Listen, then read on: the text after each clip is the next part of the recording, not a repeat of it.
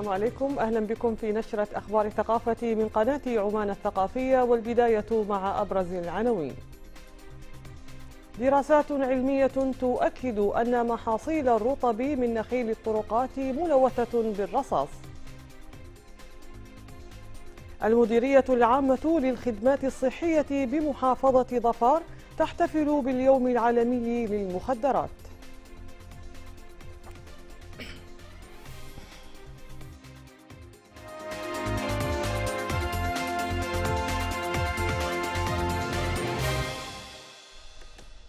أهلا بكم. أكدت دراسات علمية أن محاصيل الرطب من نخيل الطرقات ملوثة بالرصاص الأمر الذي يجعلها غير صالحة للأكل. وأوضحت دراسة لعينات أن نسبة من تمور الطرقات تحتوي على بيض الحشرات واليرقات الصغيرة والبكتيريا.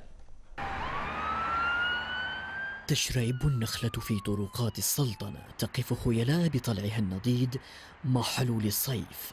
ولكن دراسات محلية ودولية وضعت نخيل الطرقات في المحك حيث أشارت إلى أن محاصيل الرطب ملوثة بمادة الرصاص.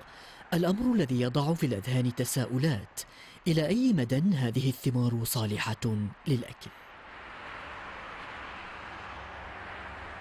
الملوثات الخارجية المحيطة بالنخلة في الطرقات تدخل في قلب حبات الرطب وليس في القشرة الخارجية فحسب. وكميات الرصاص تتسرب أثناء تكونها كما أن نسبة من التمور تحتوي على بيوض الحشرات واليرقات والبكتيريا ففتح العيون بات حتميا لا محالة. فلا تناول لرطب الطرقات إلا بعد غسلها من الميكروبات تماما. فهذه الدراسة تؤخذ بعين الاعتبار كما يوضح المختصون وإن كان من خيط الحذر. تعيش النخلة في أرياف عمان ومدنها وقراها والعماني جبل على حبها ينتظر ما تجود به ثمارها المباركة. فأينما تحل وترتحل في أرض عمان ترى النخل باسقات تطاول السماء. تكتسي منطقة قوع الجوبة بولاية محوت بالبساط الأخضر من العشب والمرعى بعد وصول الأودية القادمة من محافظة الداخلية وتعتبر منطقة القوع مكانا ملائما لرعي الإبل والماشية بعد أن تتحول من صحراء قاحلة إلى مسطح من العشب والنباتات الخضراء.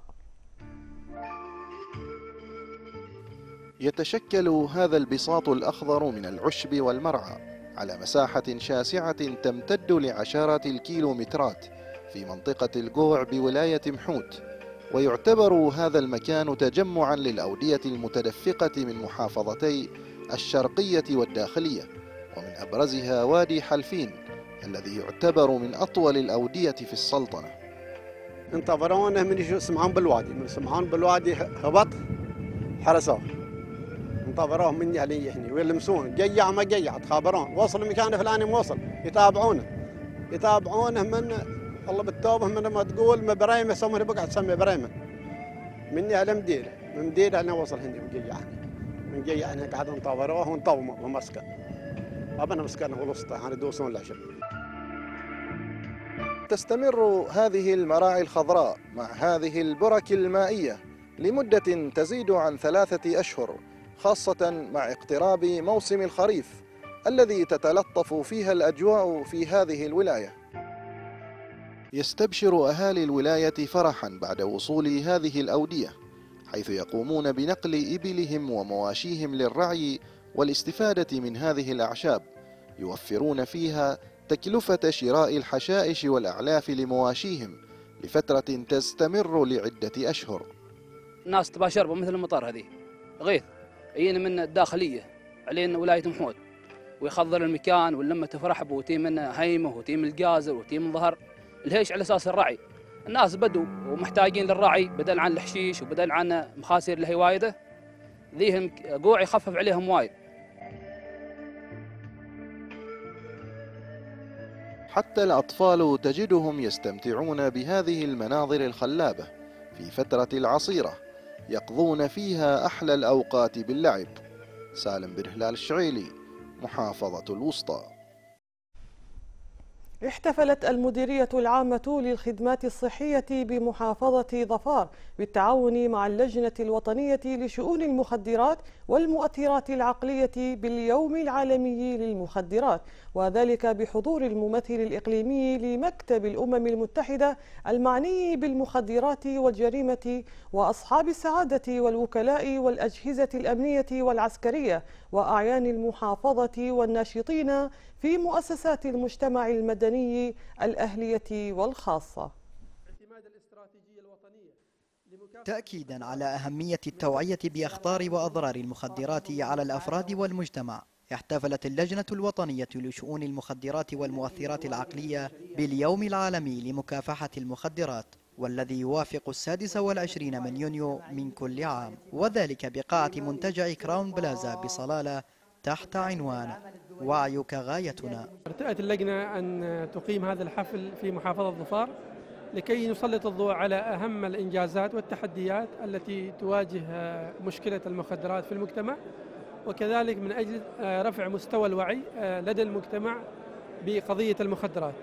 طبعا خلال هذا اليوم تم استعراض عدة أوراق عمل من ضمنها طبعا جهود اللجنة الوطنية في مكافحة المخدرات. واشتمل برنامج الحفل على عدة فقرات منوعة وكانت البداية مع كلمة اللجنة الوطنية ومن ثم كلمة الممثل الإقليمي لمكتب الأمم المتحدة. ثم تم استعراض جهود شرطة عمان السلطانية في مكافحة المخدرات والمؤثرات العقلية. كما اشتمل الحفل على معرض مصاحب توعوي وفي الختام تم توقيع اتفاقية بين اللجنة الوطنية وشركة صلالة للميثانول لدعم الحملة الوطنية بمحافظة ظفار. طبعا نحن نثني على الجهود القوية التي تبذلها سلطنة عمان في مكافحة المخدرات والوقاية منها وذلك من خلال تضافر الجهود في اللجنة الوطنية لشؤون المخدرات والمؤثرات العقلية برئاسة وزارة الصحة وبعضوية كافة الجهات الفاعلة في الدولة. وتسعى اللجنة الوطنية لشؤون المخدرات والمؤثرات العقلية أن تكون السلطنة من الدول الرائدة في مجال مكافحة المخدرات والمؤثرات العقلية إقليميا ودوليا. الشرطة طبعا تقوم بدور كبير في المكافحة من خلال طبعا الإدارة العامة لمكافحة المخدرات وبقية تشكيلات شرطة عمان السلطانية. سواء عن طريق مكافحة التهريب وكذلك أيضا الإتجار وأيضا تجريم التعاطي طبعا وضبط المتعاطين. بهدف التوعية بمخاطر المخدرات والمؤثرات العقلية هكذا كان الاحتفال باليوم العالمي للمخدرات بمحافظة ظفار. عبد الله بن عبد العزيز تبوك ولاية صلالة. أخبار الثقافة مستمرة من قناة عمان الثقافية وتتابعون فيها بعد قليل. آخر متحدثة بلغة عتيقة في جنوب تشيلي تكافح للحفاظ عليها من الاندثار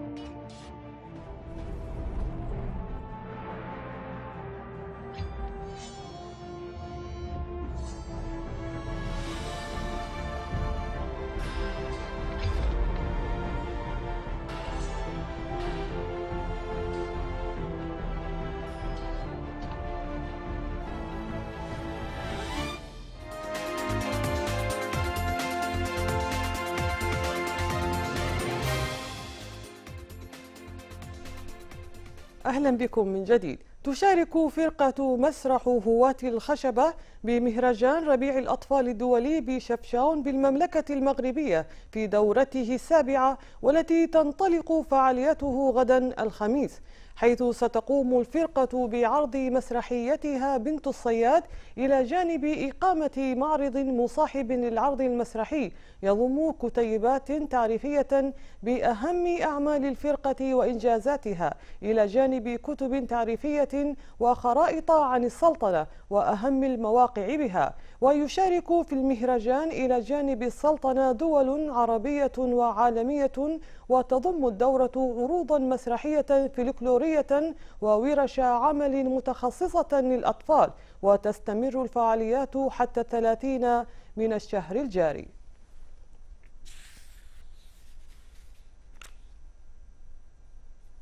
في مدينة أديليد الأسترالية تم افتتاح معرض للوحات رسمها العديد من الفنانين من شعب إندولكا في أستراليا وتباع هذه اللوحات بأسعار لا تقل عن عشرة آلاف دولار أمريكي حيث يرى القائمون على المعرض أن الفنون التي تروي قصص الثقافات والشعوب يجب أن تكون ثمينة حتى يعي الناس قيمتها المعنوية والفكرية. على بعد 1200 كيلومتر من مدينة أديليد الأسترالية يعيش شعب إندولكانا الذي أصبحت قصصه وثقافته المواضيع الأساسية للوحات تباع بعشرات آلاف الدولارات. التحدي الوحيد الذي كانت تواجهه هذه اللوحات هو صعوبة الوصول إلى المدن حيث المتذوقون للفن. ولأجل ذلك تم افتتاح في مدينة أديليد معرض بالقرب من مستشفى المدينة الملكي ليصبح فضاء لنقاهة المرضى عبر التمتع بالفن. والتعرف على ثقافة أحد الشعوب الأسترالية كما يستقطب المعرض الأطفال والشباب الراغبين في التقرب من حياة أسلافهم. هؤلاء الأطفال يأتون للمعرض حيث تروى قصص الماضي ليحفظوها في قلوبهم وبذلك نحمي ثقافتنا من الاندثار. يرفض القائمون على المعرض بيع اللوحات بأسعار تقل عن عشرة آلاف دولار لإيمانهم بأن الفن القائم على ثقافة الشعوب وتاريخها يجب أن يكون ثمينا ماديا لتحصل الثقافة على التقدير المعنوي والفكري الذي تستحقه. ومن رحاب ثقافة شعب إندولكا في أستراليا ننتقل بكم مشاهدينا إلى حضارة شعب اليجان في تشيلي حيث لم يتبقى على قيد الحياة من متحدثي لغتهم سوى امرأة تبلغ من العمر 91 عاما تكافح لحفظها من الاندثار فلنتابع.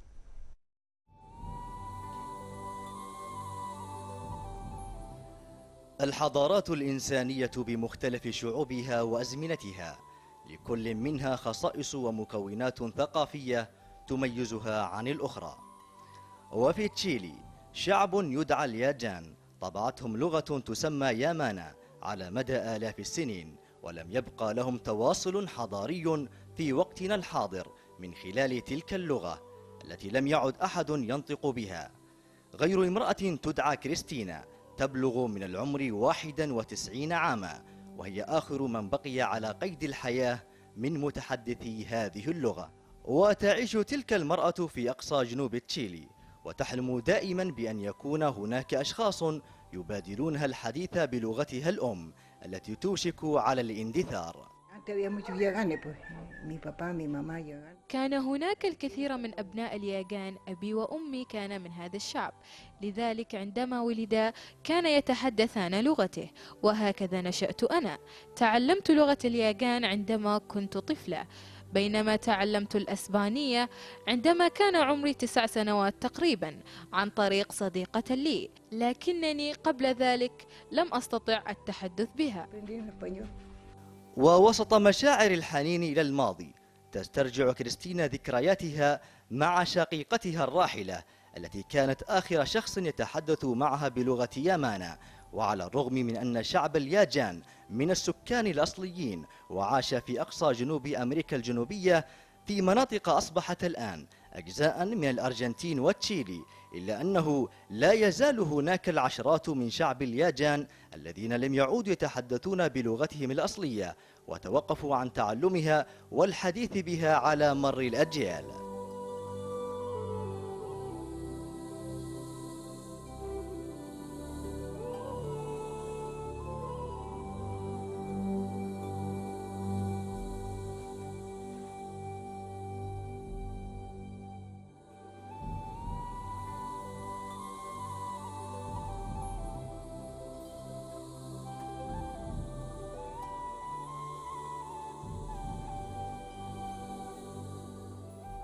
وتواجه كريستينا بعض التحديات والمعوقات ولكن يبقى لديها شيء من الأمل في عدم اندثار لغتها الأم في إحدى بناتها والتي أبدت اهتماما بتعلم لغة شعبها الأصلية.